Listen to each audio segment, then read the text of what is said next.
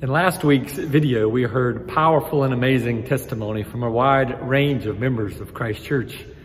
We heard how important Christ Church is in their lives and also how important they think Christ Church is for Greater Savannah and for its service to God's world. This week, we will hear from our treasurer, Bill Hale, about the financial state of our congregation and current giving.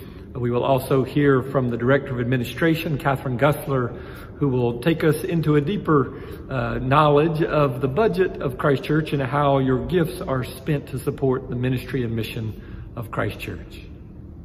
As the church's treasurer, thanks to your strong support, we're able to report that Christ Church continues its long legacy of being financially solid.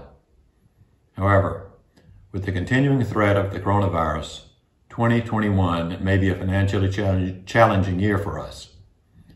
We must recognize a number of our members have been faced with loss of jobs and significant financial uncertainty. That's why in this upcoming stewardship campaign, it is especially important that those of us that are able continue and consider an increase in our pledge. It may be a good time to prayerfully consider, as the scriptures suggest, the option of proportional giving. Please continue to support our Christ Church.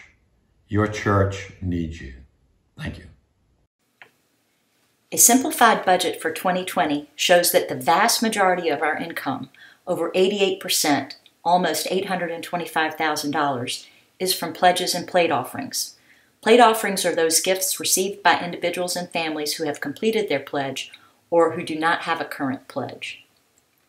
Over 83% of our expense is for salaries, programming, and outreach. The remaining 17% is for facilities and administration.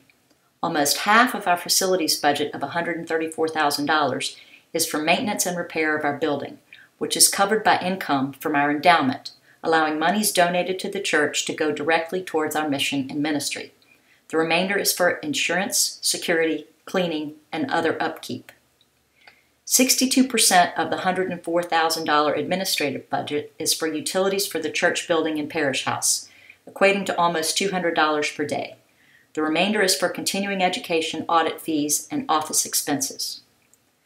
Our outreach budget does not include the rent, utilities, insurance, and upkeep for Emmaus House, estimated at over $50,000 per year.